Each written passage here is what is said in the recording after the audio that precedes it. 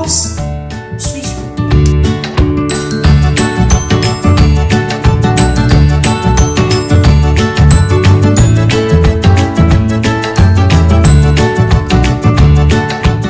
decorate this hot Swiss roll, there are few ingredients and tools that we require. required. First, we need to have one chocolate Swiss roll, two chocolate chips, one marshmallow, two coffee beans, one chocolate Swiss roll each, few chicken floss, one buttercream, and also there are three tools that we required. There are scissors, spatulas, and knife.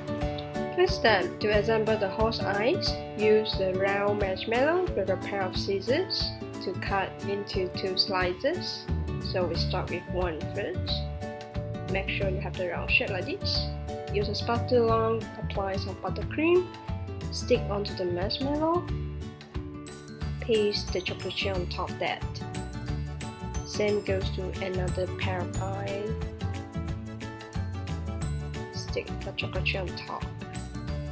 Second step, we're preparing for the horse ear using the Swiss each, cut into two slices to represent the pair of ears for the horse.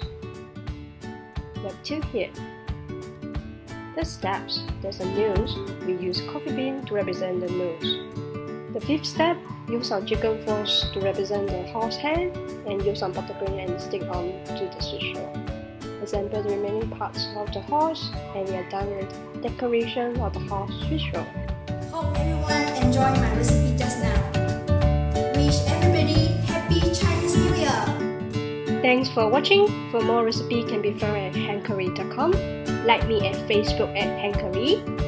Follow me at Twitter. See you!